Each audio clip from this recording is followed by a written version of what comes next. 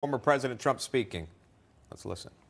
And uh, the statements were actually very conservative. The financial statements that we used were very conservative. Uh, in addition to that, we have a disclaimer which says go out and do your own due diligence. Uh, don't necessarily believe what you read. In fact, don't believe what you read. Here are the financials.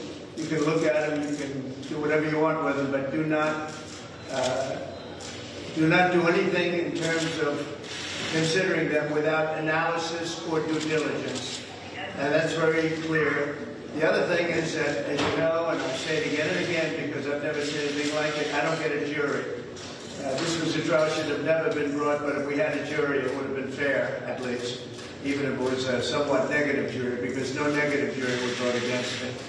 But this judge will, because this judge is a very partisan judge, with a person who's very partisan sitting alongside of him, perhaps even much more partisan than he is.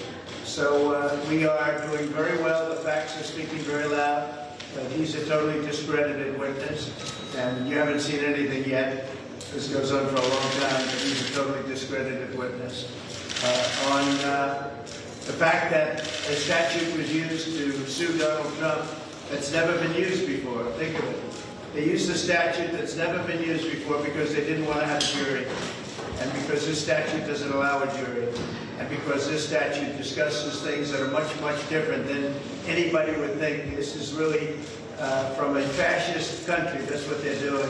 It's election interference.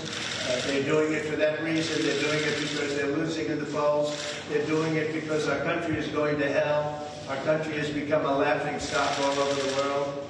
And this is why they do this and other litigation. Uh, but we will win.